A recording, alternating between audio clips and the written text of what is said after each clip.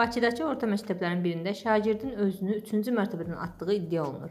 Sosial şəbəkədə yayılan video görüntüdə 22 nömrəli məktəbin idman müəllimi Müşfiq Əliyev iddia edir ki, martın 30-u 9-cu sinif şagirdi Məhəmməd Bəhlulov nəzarətsiz şəraitdə yıxılıb. Azxəbər.com xəbər verir ki, Müşfiq Əliyev iddia edir ki, şagird Məhəmməd Bəhlulov 2 qiymət aldığı üçün özünü pilləkəndən atıb. Məsələ ilə bağlı 9-cu sinif şagirdi Məhəmməd Bəhlulovun atası Novruz Bəhlulov Xəzər xəbərə bildirib ki, övladının tərbiyəsi və dərsə davamiyyəti ilə bağlı bu günə kimi heç bir şikayət olmayıb. O iddianın əsassız olduğunu deyib.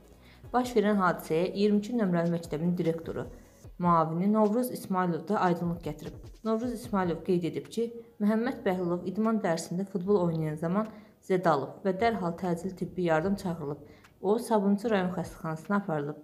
Müşfiq Əliyevin 10-11-ci sinif şagirdlərinə kütləvi olaraq direktorun sifarişi ilə aşağı qiymət yazıldığı iddiasına isə məktəbin digər müəllimi Araz Şamilov jurnalı göstərərək aydınlıq gətirib.